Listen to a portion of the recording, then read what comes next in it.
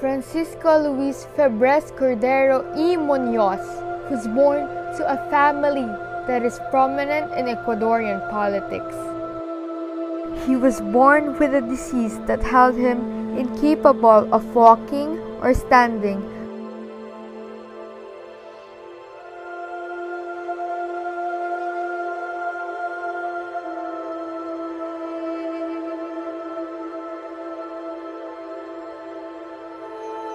until he saw a vision of the Mother of God at the age of five.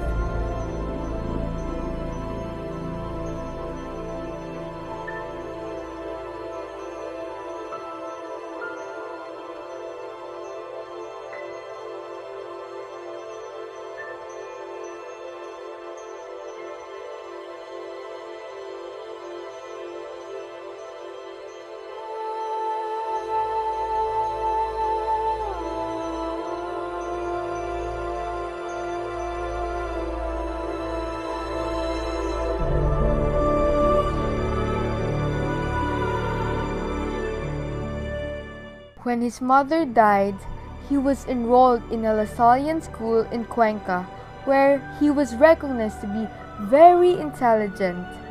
There, he saw how the Lasallian brothers lived and was inspired to become one of them.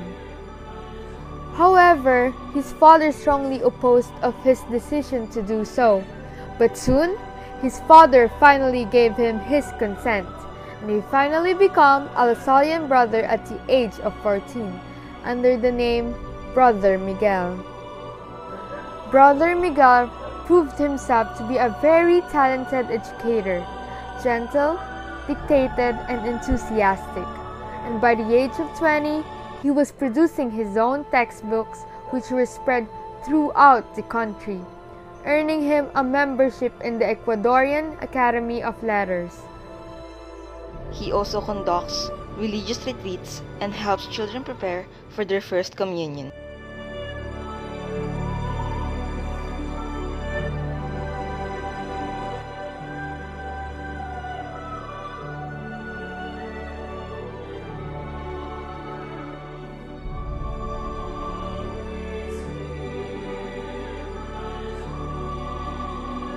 Later, he was sent to Belgium to translate French texts to Spanish to be used by the order.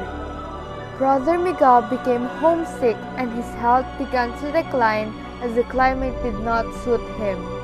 He then transferred to Barcelona to continue his work, but then a general strike broke out and churches were being burned. Fortunately, Miguel and the brothers managed to escape the fire.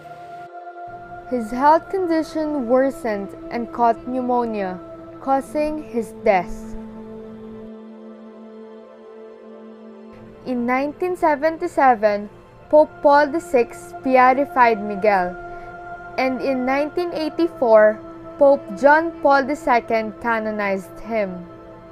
He is a saint, not because of his precocity or his intellectual ability, but because the warmth of his prayer life overflowed in generosity and service to others.